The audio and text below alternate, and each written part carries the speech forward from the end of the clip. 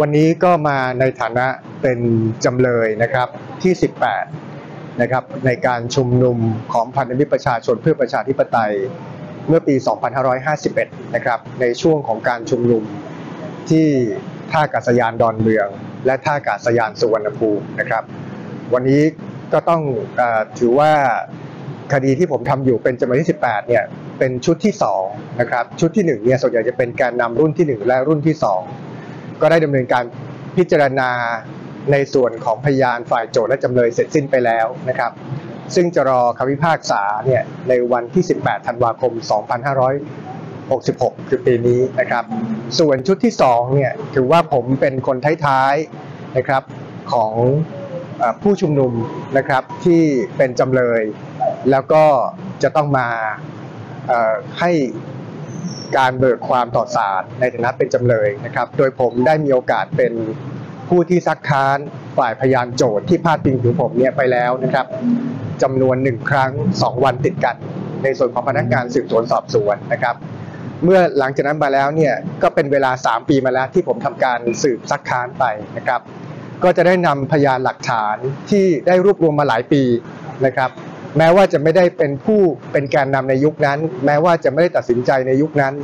แต่ก็ได้รวบรวมพยานหลักฐานมาในฐานะนักวิชาการและสื่อมวลชนนะครับ เพียงพอที่จะทำให้เห็นภาพรวมว่าเกิดอะไรขึ้น ก็นำจะนำเสนอต่อศาลในวันนี้ในฐานะจำเลย แต่ว่าจะยาวสักหน่อย เพราะว่าเตรียมคำแถลงไว้ประมาณ 100 หน้านะครับซึ่งอาจจะใช้เวลา 1-2 วัน ในการที่จะนำเสนออย่างต่อเนื่อง หลักฐานที่จะใช้ก็มากกว่า 100 ชิ้น นะครับที่จะนำเสนอต่อศาลก็จะเป็นหมายรอก็คือหมายของจำเลยนะครับที่นำเสนอไปแล้วที่ก่อนหน้านี้นะครับส่วนตัวผมเนี่ย 99 ชิ้น มาวันนี้ก็มีอีกหลายสิบชิ้นนะครับที่มาประกอบกัน เพื่อทำให้มั่นใจว่าการชุมนุมของพันธมิตรเนี่ยเป็นผู้ไม่กระทำความผิดนะครับ ส่วนจะไม่กระทำความผิดอย่างไร ก็ขออนุญาตเบิกความในชั้นศาลครับในรายละเอียดการชุมนุมของพันธมิตรเนี่ยโดยหลักการเลยเนี่ยเป็นการใช้สิทธิ์ ในการต่อต้านการได้มาซึ่งอำนาจโดยไม่ชอบรัฐธรรมนูญ ของฝ่ายรัฐบาลในยุคนั้น ซึ่งมาจากการโกงการเลือกตั้งนะครับ ซึ่งเป็นผลทำให้มีการยุบพักพลังประชาชนในวันที่ 2 ธันวาคม 2551 นะครับ ในยุคนั้นเองเนี่ยพันธมิตรต่อต้านการได้มาซึ่งอำนาจโดยไม่ชอบรัฐธรรมนูญ หยุดยั้งการพยายามแก้ไขรัฐธรรมนูญ เพื่อล้มล้างความผิดคดีทุจริตคอร์รัปชันด้วยการแก้ไขรัฐธรรมนูญ ยกเลิกคดียุบพักการเมืองหลังจากทุจริตการเลือกตั้งเสร็จสิ้นไปแล้วนะครับ ส่วนการไปชุมนุมในเหตุการณ์นั้นเนี่ยจะเป็นอย่างไรต้องไปฟังคำเบิกความซึ่งมีรายละเอียดอยู่นะครับ แต่การชุมนุมในยุคนั้นเนี่ยประสบความสำเร็จนะครับ เป็นที่มาของการทำให้คดีทุจริตคอร์รัปชันเนี่ยเดินหน้าไปได้ 12 คดี จนเป็นที่ยุติจำคุกเยอะแล้วนะครับ รวมถึงคุณทักษิณด้วยนะครับ การต่อต้านในครั้งนั้นเนี่ย และการต่อต้านครั้งนั้นก็เป็นเหตุทำให้สามารถยุบพักพลังประชาชน ซึ่งซึ่งมาจากการได้การซื้อเสียงทุจริตการเลือกตั้งเนี่ยเป็นผลสำเร็จด้วย เราจึงเชื่อด้วยความบริสุทธิ์ใจว่าเราได้ทำหน้าที่ในการต่อต้านการได้มาซึ่งอำนาจโดยไม่ชอบรัฐธรรมนูญ ซึ่งเป็นไปตามบทบัญญัติของรัฐธรรมนูญ แล้วก็ในขณะเดียวกัน เราก็ต่อต้านการทุจริตคอร์รัปชัน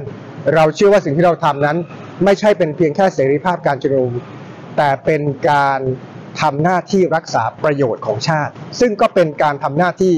ตามรัฐธรรมนูญเช่นเดียวกัน เราเคยพูดในการชุมนุมว่า โดยพลตรีจำลองนะครับ